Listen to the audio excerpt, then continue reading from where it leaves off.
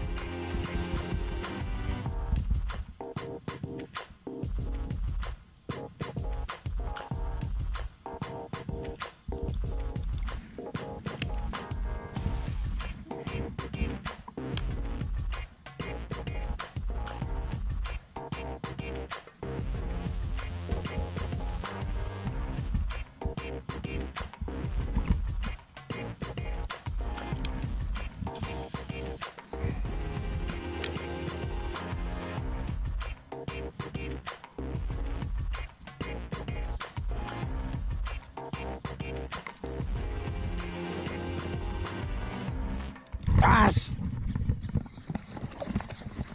これはバラしたくない。よっしゃ。よっしゃいやー嬉しい。よかったそこまで長くないけどブリブリのいいやつ。ナイスコンディション。木の枝で。ロッドが。こういなせなかった込んでって上に上げちゃいましたけど。まあなんとか取れてよかったです。お見苦しい取り組みでしたが。どうしてもあの木の枝のところロッドがねこれ普通の5.6フィートのガンディスティックなんで秋山君に1本だけのサンプルショートロッドあ取られた出た出た出た連発連発。よし。サイズアップサイズアップ。あーでかい。よっしゃー。やりました。いやーサイズアップ。ブリブリ。こんないいバスが。マットラトンパワー。やばい。サイズアップ。やりました。冬なのに釣れますトップでも。ああ嬉しい。いやーマジで嬉しい。よっしゃマットラットのパワー2連発。この冬なんか岩回りが。相手岩回りがすごい効いてます。いやー今回釣れないと思ったんで嬉しいです。15時やっぱり46分。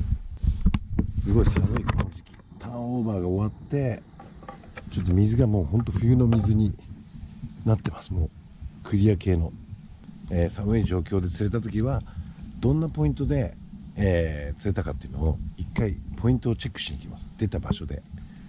水深見たりとか、まあ、水温測ったりとかどういうストラクチャーで出たかちょっとチェックします。今完全このハング側の岩こういうところで出たんですけど釣れたポイントを一回チェックに行くと来年のこの時期の参考になります。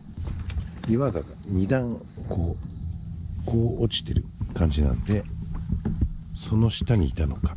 こういう岩。岩の際に投げて。下もこういう感じになってて。でロッドを突っ込んでみると分かるんですけど。あそこまで。ここ。ここです。水深も1メートルちょい。うん。こういったところに出てます。ここは割とズドーン。としたところなんですけどやっぱり一段岸のここの手前はもう50センチぐらい。でここまで来るとちょっとそうだな岸から1メートル50センチのところはやっぱり1メートルないぐらい。その下でやっぱ1メートル。50実は数年前も2年前も、えー、やっぱこの寒い時期に、ね、こういうあの岩あの岩、えー、マットラットをターンさせてゆっくりと。でポーズ取って巻いてきたら目の前で出てダイレクトリードで逆バックラッシュして釣れた覚えがあるんで覚えててそれをやってみたら釣れました。なんでちょっと工夫すれば冬もねちょっと防寒に気をつければえー、まあ釣れると思いますんで。